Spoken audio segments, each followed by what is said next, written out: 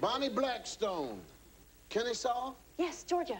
pro wrestling hostess. Mm-hmm. So you're not a wrestler. No, never have been and never want to be. Ah, what does the pro wrestling hostess do? I go behind the scenes and get the interviews from the locker room area, travel all around the country, and talk to today's professional wrestlers, men and women.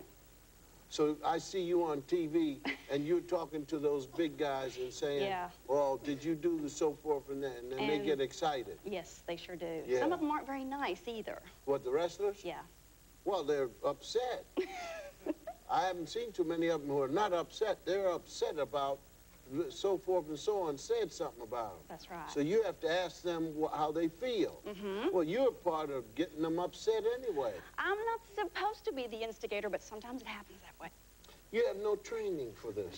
No, none at all. But you just, this is sort of natural for you. It takes a desire and it takes knowing that you go into situations sometimes where you're not welcome, where it's not easy, and, this is a male-dominated sport. You started up, though. No. Yeah, because they were, these are nice people. They're like this, and they're thinking about going on, and then you come in and you say, well, he said that your mother's foot is so forth. What? And told her, let me tell you something. You all that, and then you turn around like somebody, well, what can I say? But I don't have to wrestle the guy. Dr. Barry Taft,